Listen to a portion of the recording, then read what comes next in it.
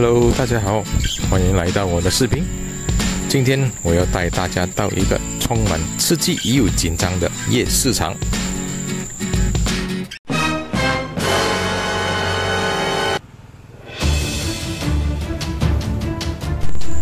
你们看是不是很刺激又紧张呢？因为这个夜市场建设在大路的旁边。